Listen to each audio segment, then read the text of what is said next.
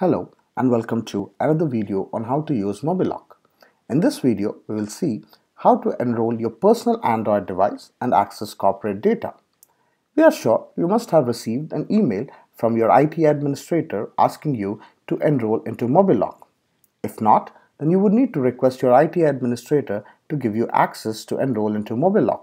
Once your IT admin invites you, then you would be getting an email which looks like this. In this email, you would see that there's a QR code and there's a sign-in information. So there are two ways to enroll into Mobilock. One, by scanning QR code, but if you're using a mobile which does not have a camera or you're accessing this email on the same mobile that you want to enroll, you might want to sign in. However, for both the steps, the first thing is to install Mobilock Pro from Google Play Store. So click on the Install Mobilock Pro link and on the device on the left hand side, click on the Install button. Once the Mobilock Pro client is installed, click on Open to launch it. Just waiting for it to be downloaded completely. Click on Open. Once you click on Open, you would see the option to enroll. Note that you don't have to sign up again. Your IT administrator is already done and all you have to do is click on Enroll. Because you're enrolling your own personal device, click on Personal. As mentioned earlier, you have two options. Either scan the QR code or click on Sign In. If you are, are accessing it from a device which does not have a camera or cannot scan QR code for a reason, click on sign in. You can manually enter your email ID. This email ID would be the same, the one where you got the email. And the org ID is mentioned in the email as highlighted here. In this video, we will see how to scan the QR code.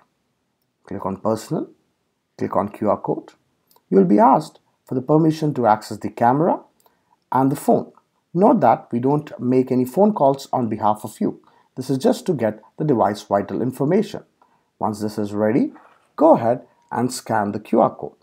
Once you scan the QR code, it will validate the device and sign you in. If all goes well, it will load up the terms of use page for your organization. This is your organization's terms of use conditions. In this demo, I have used the Mobilock's legal page. This might differ on your device. So you click on got it. And once you're ready you click on I agree to the terms of use.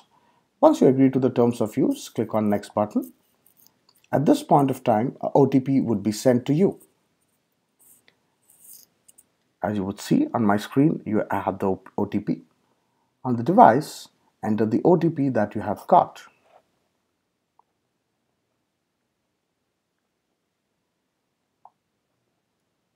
now once the OTP is successfully verified, this is the most important step. You will be asked to create a work profile.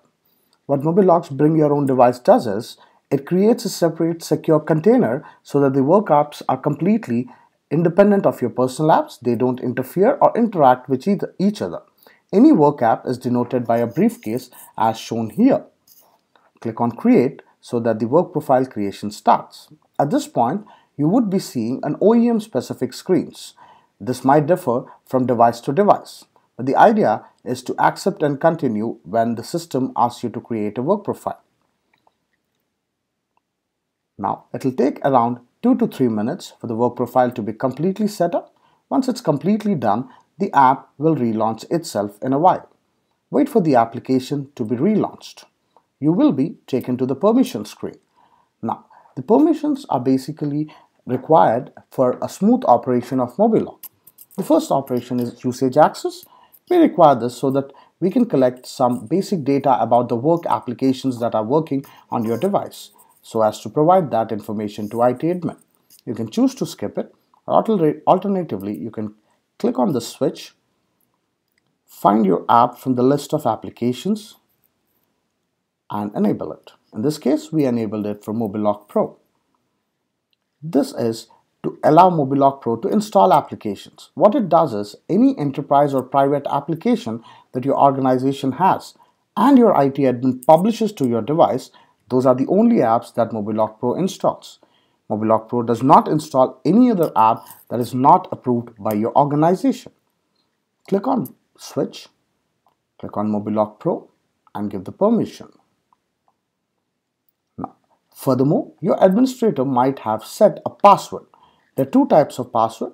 One is a work app's password and the other is a device level password. Your admin might have set both, in which case you would see two cards, one asking for work apps and one asking for device. The work apps password is a special password which is only required when you're accessing any of the work apps and not when you're accessing your device so that the work apps are safe. Click on this button and give the password. So the rules are set by your IT administrator. In, in this case, my admin has asked me to set a six digit password. So I'll just set a six digit password.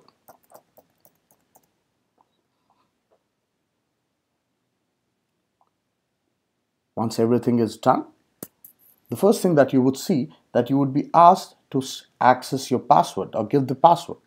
Give the password and once you have given the password, you would be asked to confirm your newly set password one more time.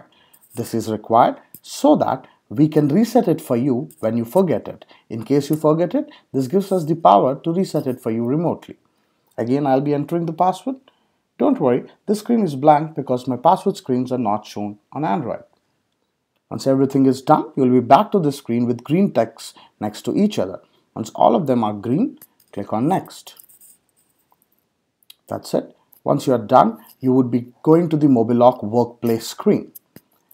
Mobilock's Workplace is an aggregated space where you can see all your work apps and shortcuts that your organization has given you at one place.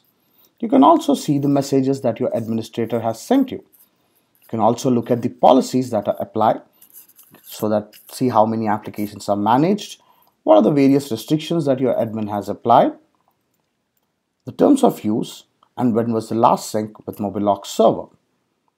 So the three sections are workplace, messages, and policies.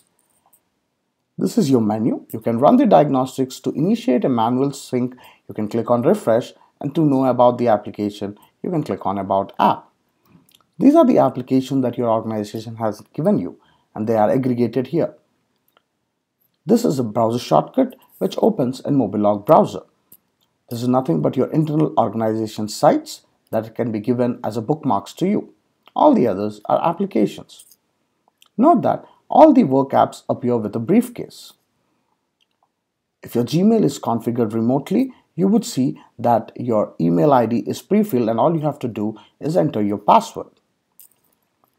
Similarly, when you minimize and open the system's default launcher, this is a Google Pixel, you would see that it is divided into two sections, both personal and work.